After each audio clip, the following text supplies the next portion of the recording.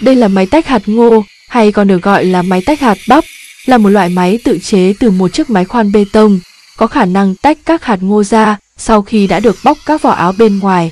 Máy được thiết kế nhỏ gọn và thao tác sử dụng cũng khá đơn giản, dễ sử dụng. Khi sử dụng máy tách hạt ngô, máy sẽ thực hiện việc tách hạt ngô nhanh chóng. Bên cạnh đó, bà con hoàn toàn có thể tự chế để tiết kiệm được công sức. Chúc bà con thành công.